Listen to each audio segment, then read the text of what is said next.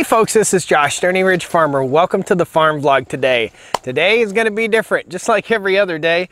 We've got a beautiful North Carolina day here. The weather is about 75 degrees and we're getting set up for our chicken processing. So what we have here is a three bay stainless steel sink and we have a prep table, a stainless steel prep table. And right here in front of me, we have one of those folding tables like you can get from Costco. Tomorrow is the day we're going to harvest our birds are meat birds and they are approximately nine weeks old, maybe 10 weeks old.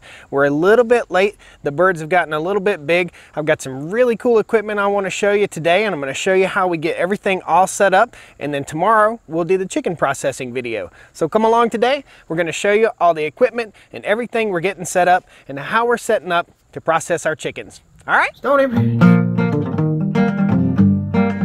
From Stoney Ridge.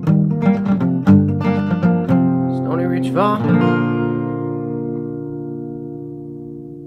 All right, so first things first, I wanna show you what we already have set up. Our stainless steel prep table, a three bay sink, which we're gonna fill with ice, and that's where our birds are gonna go.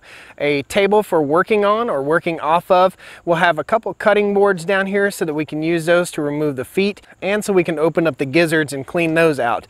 Our chickens are right over here. We'll walk over and show you them. We're gonna detail all this equipment here in the next video, and maybe a little bit today. So we've got a pallet of goodies to show you. So we're gonna open those up today. We've been working with Meyer Hatchery and a company called Coops and More. Check them out, coopsandmore.com. There'll be a link down in the video description. And we're gonna be using a lot of Coops and More equipment and a mix of Meyer hatchery equipment. We're gonna use killing cones, we're gonna be using scalders, pluckers, all kinds of fun stuff. So guys, be sure you watch that video. Let's go check out the chickens. So folks, these are our Cornish cross meat birds. These are the hybrid Cornish cross meat birds. They're gonna dress out somewhere in the neighborhood of eight pounds apiece.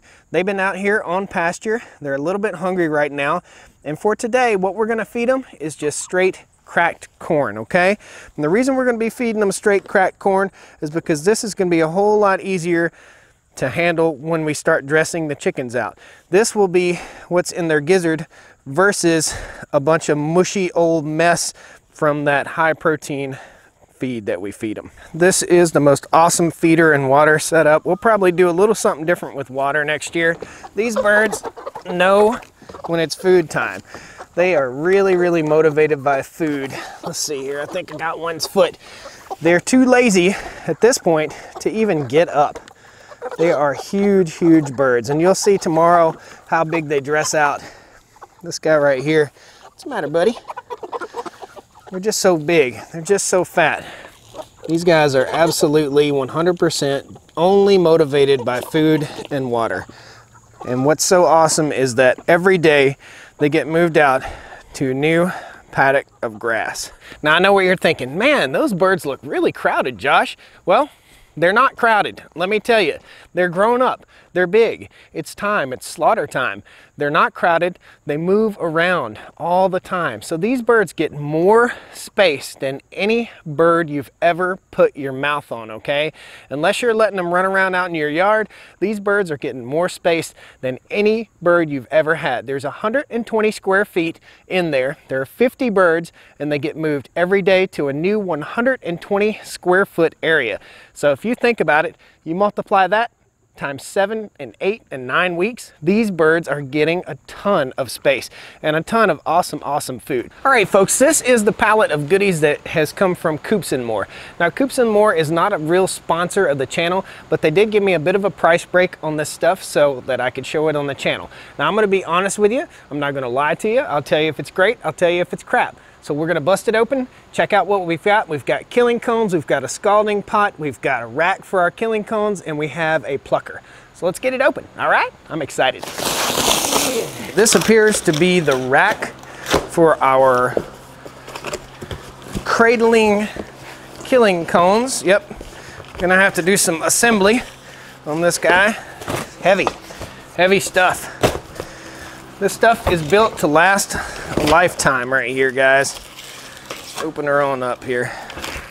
Oh yeah, nice.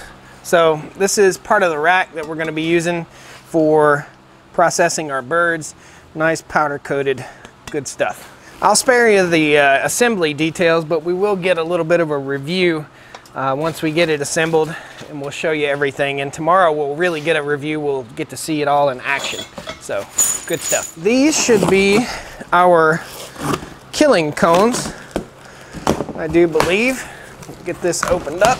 They're a little different than the Meyer Hatchery killing cones. They sent me a couple different sizes here. Let's see. And a cool catalog. All right.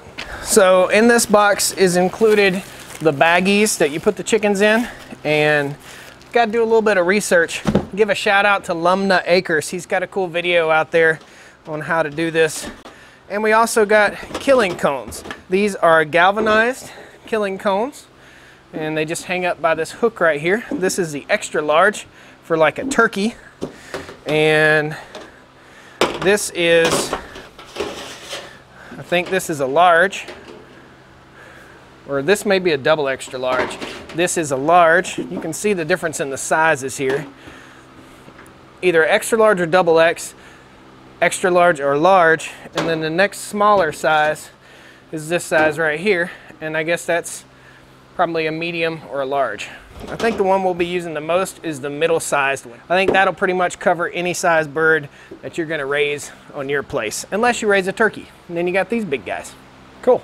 Now let me explain to you what these chicken hugging cones do, chicken huggers. Okay, so you take your chicken and you pick him up by his feet and you lay him down in here and his head sticks out the bottom and you dispatch the chicken and let them bleed. You want all the blood out of the meat before you start processing them. These are made of galvanized and they're made right at Wright Farm Products. So an American company making good American stuff. Let's show you the one that came from Meyer Hatchery. It's a little bit different. It's stainless steel. So comparing the two, the stainless steel one that came from Meyer Hatchery, it's a little bit well, it's more expensive. It's about the same size. Everything's pretty much the same. Uh, it's welded in the back and it's stainless steel. So you know it's gonna last forever and ever. The galvanized one, it's good too. Keep it clean and use it forever. It's not gonna rot. By the time you rot, that'll rot. Al Lumnah's right there on the catalog. Congrats Al and the fam. Those guys are good people. If you haven't checked them out, go check them out. There'll be a link right up here to Al Lumnah's page. It's called Lumnah Acres. Pretty cool. Okay, we got some metal stuff and a lid and whew, a burner. Man, I might be able to make moonshine with this thing. Oh yeah, so this is our scalding pot. And pretty cool, Coops and More offers a scalding pot that's powered by 120 volt, I do believe, and I know they provide one that's powered by 240 volt. Most people don't have a dryer plug out off their back porch. So this one right here is designed to run off a propane tank. And that's what we'll be using tomorrow. Without further ado, this is the scalding unit. This is your eye. There's an eye built in down here. And we'll get you some better close-ups tomorrow as we work with this. But you've got a great big scalding pot right here and a thermometer. This is a brand new product that's just now coming out from Coops and More. And in here is a scalding draining pot. So you can put your chicken in here, drop him down in the warm water, 150 degree water for a few seconds, and then come out and pluck him. So we'll get this guy and we'll set him outside in our uh, outside processing area. Now for the belle of the ball here, we're gonna open this big guy up. See what we've got. This is our plucker. This is the thing that's gonna make our lives so, so much easier. We have a small tabletop type plucker down there that we got from Meyer Hatchery. And we'll show you that one too, in case you're on a little bit more of a budget. And I'm not gonna lie guys, this chicken processing equipment is expensive, but it's a one-time purchase. And if you're considering starting your own farm or starting your own setup like this, then it's a one-time purchase that's well worth it in my book. So having the right equipment makes all the difference in the world. Let me get busy here and see if I can skin my knuckles getting this box open. I think it was made by the same guy that invented the Rubik's Cube. I think his name was Rubik. Not to be confused with Rupert.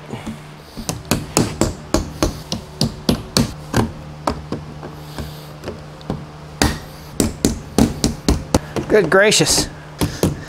As big as this box is, this thing has to be pre-assembled. I'm about to just hit the box and open it.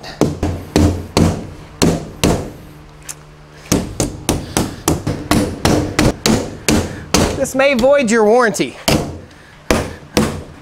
That's American back there. Woo! All right. Get out of here. What a box. we can clean up later. Thought a bee came out and got me. Ah.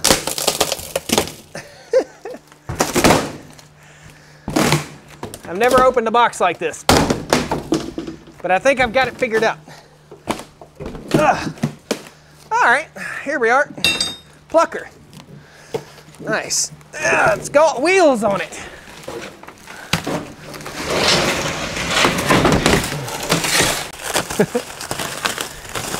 Man.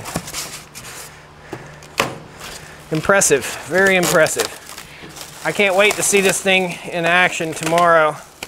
This is a 120 volt machine. It has wheels on the bottom.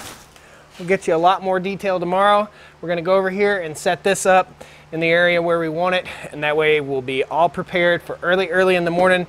My dad's gonna come up and help me so we'll show you the final setup, hopefully in the morning. I'm gonna walk you around everything one more time and then we'll see you back tomorrow. All right, we've got everything put together down here. We're gonna walk you through this whole setup, this whole scenario. It's really, really cool. So let's go from start to finish. Right here is a stainless steel killing cone and this is a Wright Farms product galvanized killing cone or hugging cone is what we're going to call them tomorrow.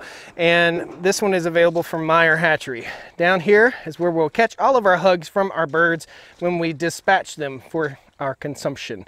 Right here is our scalding pot. And inside the scalding pot there's a thermometer here and there's a little scalding trough that will be filled with water tomorrow. Right here is our plucker. This thing this apparatus in the bottom here will spin and basically shuck all of the feathers out of this little vent right here in the back. We'll show you all that tomorrow. It's going to be quite the messy experience. Now, we have another type of plucker. This is a tabletop type plucker, and I'm not really sure where the feathers will go with this one, but we're going to try it out and see how it does. This one is from Meyer Hatchery, and this is for more of a budget type plucking operation.